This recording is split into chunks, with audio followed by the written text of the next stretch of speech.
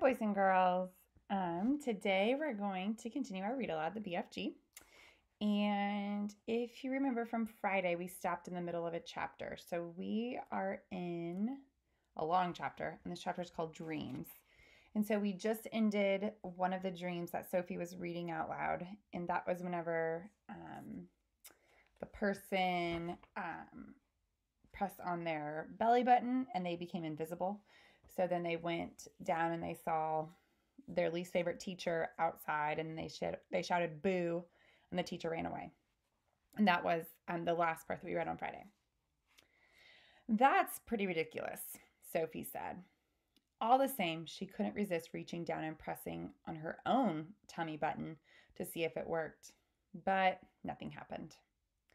Dreams is very mystical things, the BFG said. Human beings is not understanding them at all. Not even their brainiest professors is understanding them. Has you seen enough? No, just this last one, Sophie said. This one right here. And then she started reading. I has written a book, and it is so exciting nobody can put it down. As soon as you has read the first line, you is so hooked on it, you cannot stop until the last page. In all the cities, people is walking in the streets bumping into each other because their faces is buried in my book and dentist is reading it and trying to fill teeth at the same time. But nobody minds because they is all reading it too in the dentist chair. Drivers is reading it while driving and cars is crashing all over the country. Brain surgeons is reading it while they is operating on brains. And airline pilots is reading it and going into timbuktu instead of london football players is reading it on the field because they can't put it down. And so is Olympic runners while they is running.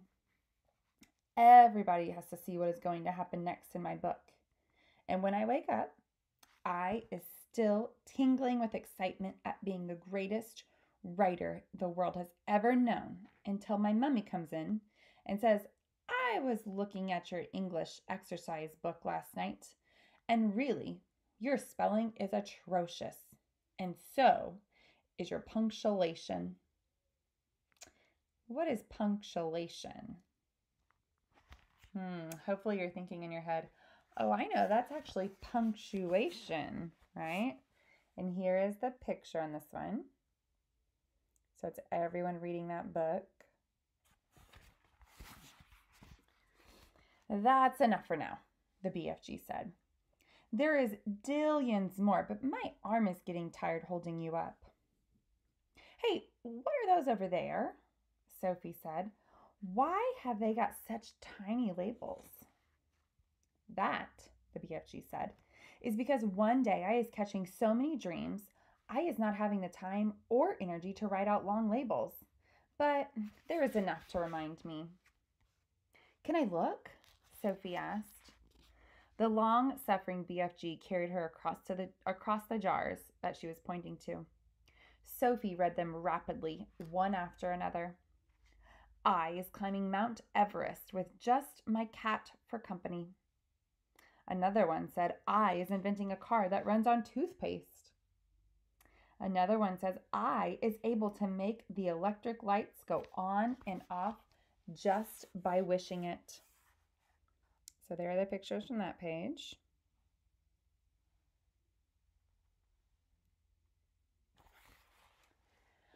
I is only an eight year old little boy, but I is growing a splendid bushy beard, and all the other boys is jealous.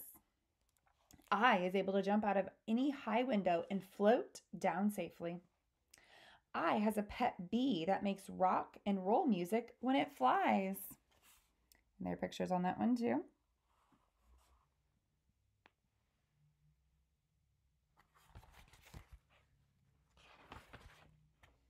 What amazes me, Sophie said, is how you ever learned to write in the first place. Ah, said the BFG, I has been wondering how long it is before you is asking me that. Considering that you never went to school, I think it's quite marvelous. Sophie said. How did you learn? The BFG crossed the cave and opened a tiny secret door in the wall.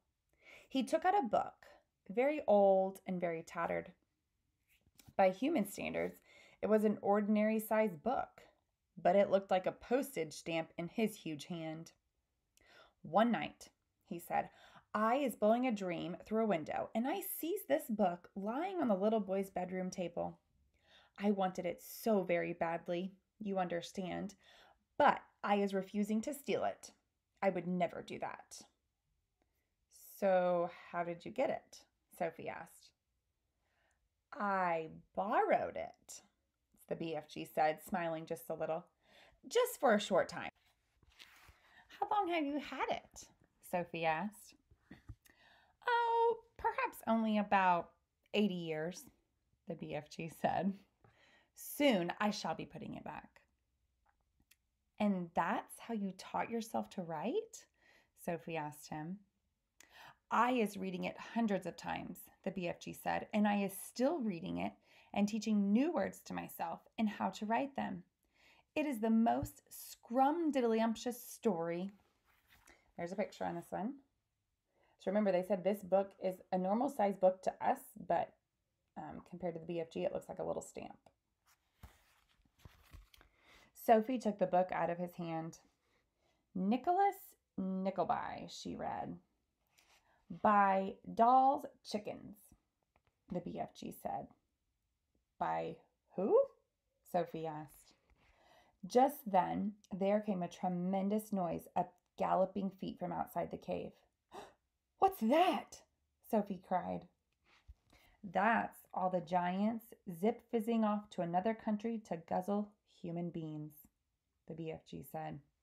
He quickly popped Sophie into his waistcoat pocket, then hurried to the cave entrance and rolled back the stone. Sophie, peeping out from her spy hole, saw all of the nine fearsome giants coming past at full gallop.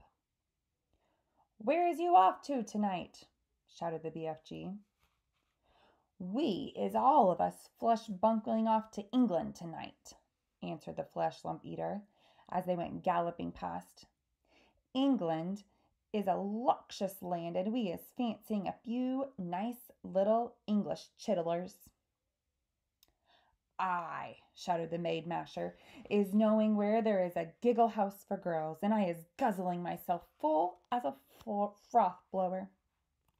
And I know where there's a boggle box for boys, shouted the guzzle, guz, gizzard gulper. All I has to do is reach in and grab myself a handful. English boys is t- tasting extra lick swishy. In a few seconds, the nine galloping giants were out of sight. What did he mean? Sophie asked, poking her head out of the pocket. What is a giggle house for girls? He is meaning a girls' school, the BFG said. He will be eating them by the bundle. Oh no! Sophie cried. And boys from a boys' school, said the BFG. It mustn't happen, Sophie cried out. We've got to stop them. We can't just sit here and do nothing. There's not a thing we can do, the BFG said. We as helpless as horse feathers. He sat down on a large, craggy rock near the entrance of his cave. He took Sophie from his pocket and he put her beside him on the rock. It is now quite safe for you to be outside until they is coming back, he said. The sun had dipped down below the horizon and it was getting dark. All right, I'm going to stop there for today. Um, in our next chapter is called The Great Plan. All right, boys and girls, you may get out a book to read or you may do listen to reading. If you have all of your AR points, you can do reading for fun or you can listen to reading for fun. If you do not have all of your AR points for this quarter, then you need to be reading for AR and taking AR tests. Now, make sure you're concentrating on those tests. Okay. I want to keep that ribbon. Don't you? Okay, so let's make sure we concentrate on our test. All right, I will see you guys soon.